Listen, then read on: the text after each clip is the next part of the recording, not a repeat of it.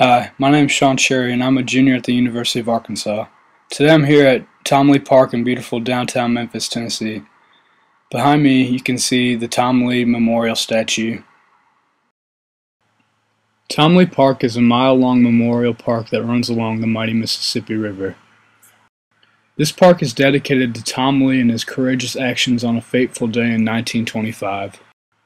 On May 8, 1925, a steamboat named M.E. Norman was carrying over 70 people, most of whom were prominent Memphis civil engineers and their families, when suddenly it capsized and almost immediately started sinking.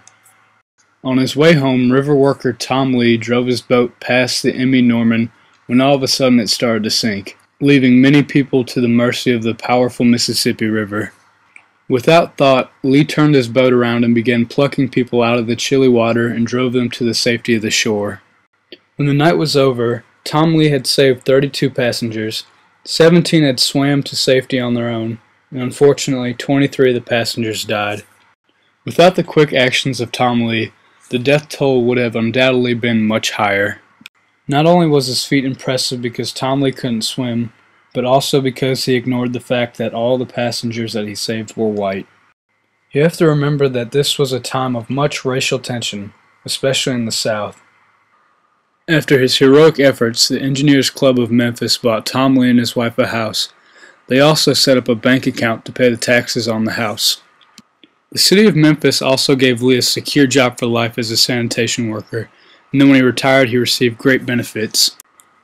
Lee eventually died in 1952, and two years later the park was dedicated to him and his heroic actions.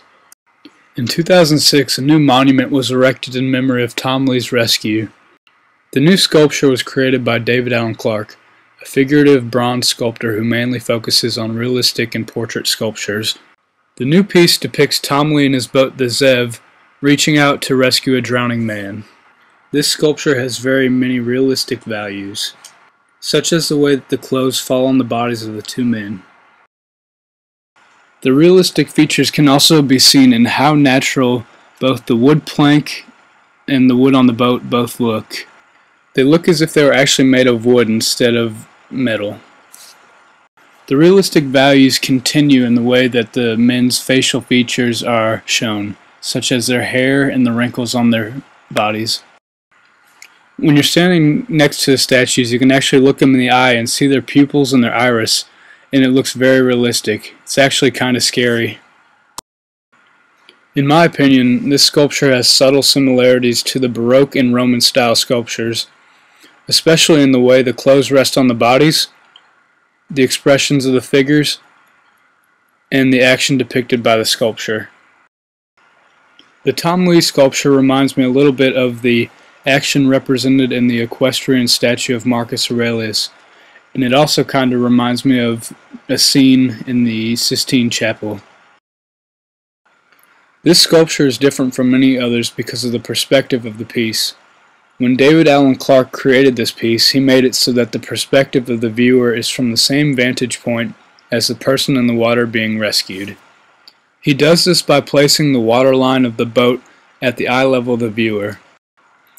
The floor on which the sculpture is on also has zigzag lines to help create the perception of the current of the river and actually being in the water. This monument also uses the space that it is in by using the Mississippi River as a background. This not only strengthens the viewer's sense of actually being in the water or the currents, but it also serves the importance of where the disaster actually took place. Finally, this monument mainly uses the natural bronze color and darker patinas. The man in the water has some bluish-green patina that scales to a darker patina. This gives the viewer a sense of the depth of the water that the man is struggling in. Personally, I really enjoy this sculpture. I like that it uses a different perspective than most memorials.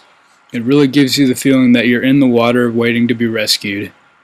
I also like that they decided to use the Mississippi River as a background because it shows you the power of the river and how amazing of a feat that this actually was.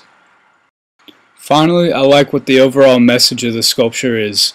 In the vision of David Allen Clark, this monument serves as a metaphor for reaching across racial barriers and recognizing the humanity in each other. Well, that's all from Memphis, Tennessee, in this beautiful Tom Lee Memorial sculpture. Thank you for tuning in for another installment of Art You Can See in a Day.